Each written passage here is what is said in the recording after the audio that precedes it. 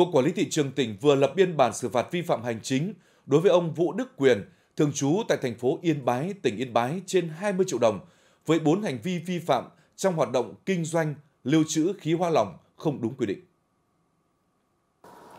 Cụ thể, 4 hành vi vi phạm gồm không đăng ký thành lập hộ kinh doanh trong những trường hợp phải đăng ký theo quy định, tồn chai, LPG tại kho chứa không đảm bảo an toàn về kho chứa theo quy định, mua bán vận chuyển, lưu trữ, chai LPG khi không phải là cơ sở kinh doanh LPG theo quy định, kinh doanh hàng hóa không rõ nguồn gốc xuất xứ.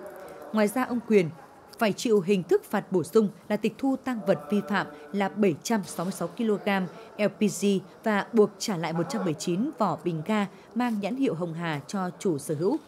Trước đó ngày 3 tháng 12, lực lượng quản lý thị trường tỉnh phối hợp với các lực lượng chức năng khám và phát hiện trong kho hàng của ông Vũ Đức Quyền thuê của công ty trách nhiệm hữu hạn cơ khí ô tô Đức Hòa ở xã Trưng Trắc huyện Văn Lâm có chứa 119 chai LPG mang nhãn hiệu Petro Hồng Hà. Một bồn chứa LPG có chứa 550 kg LPG cùng một số dụng cụ dùng để san chiết ga. Tại thời điểm kiểm tra, ông Quyền không xuất trình được hóa đơn, chứng từ chứng minh nguồn gốc xuất xứ hàng hóa.